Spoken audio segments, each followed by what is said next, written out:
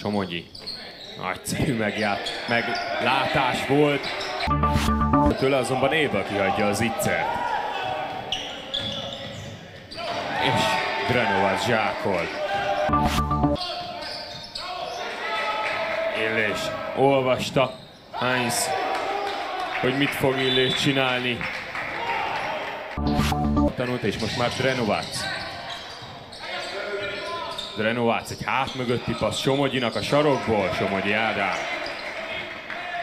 Nagyon szép játék volt. Aztán Somogyi labdát szerez Andersonon, és Somogyi zsákol. Somogyi.